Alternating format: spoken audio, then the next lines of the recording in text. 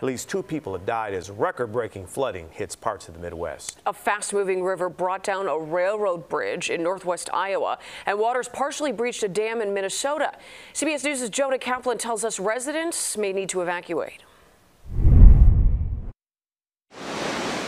In southern Minnesota, an ominous warning by officials about the Rapidan Dam. They say it's an imminent failure condition after flooding and debris partially breached this 114 year old structure along the Blue Earth River. But so far, no mandatory evacuations have been issued. We have about 18 inches of rain over the last couple of weeks. Um, what's happened is we've inundated the ground. There's nowhere for it to go.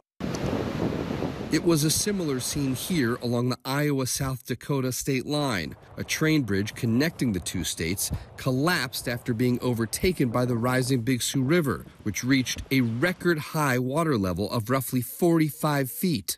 And 100 miles to the northeast, the city of Spencer, Iowa, is only now starting to emerge from the receding floodwaters of the nearby Little Sioux River, which crested nearly six feet above its previous record and already you could see how high the water was and how much lower it's gotten. Those cars were fully submerged. Still, the disaster, it's really only just begun.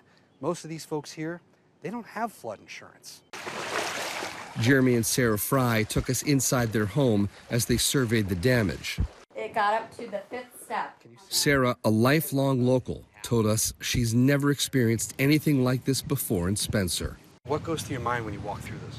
I'm still in a distraught, like a shock. I mean, yes, I've cried about it and stuff, but it's just insane to see what water can do. This might be for trains, but a couple miles from here, the interstate, I-29, that's also closed for flooding, and the detour around it, it's nearly an hour out of the way. There are still flood warnings for about a dozen waterways, according to the National Weather Service, and those rivers, they flow into the Mississippi and the Missouri, both of which are still rising.